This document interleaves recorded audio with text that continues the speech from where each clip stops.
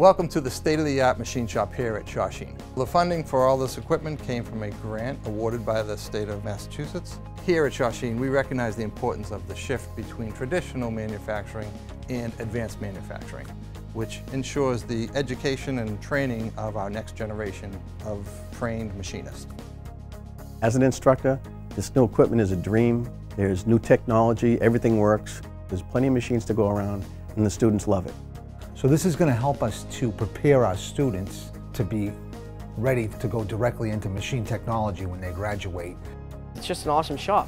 We have so many new things and we can make so much cool stuff on. Like we have a four axis machine we just got and um, we have 3D printers. We're doing a lot of CNC programming. What we're learning here really prepares us for our co-op jobs because our teachers are directly telling us what we have to do and what we have to be able to do when we get out there. For this new generation of students that were pretty much born with computers, it's amazing how quickly they adapt to this machinery and are able to program it, set it up.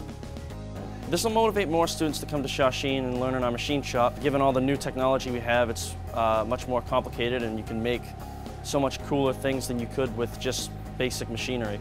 I found that these machines were state of the art and the most high-tech available to courses available in the area money well spent in the end. It's just to continue your education and further knowledge, so uh, I found this to be a great fit.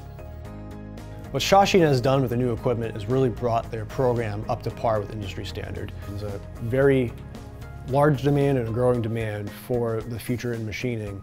People want stuff faster, they want it more precise, more high-tech. This is an investment in the future of education and training for our high school students and adults, preparing them for a career in advanced manufacturing.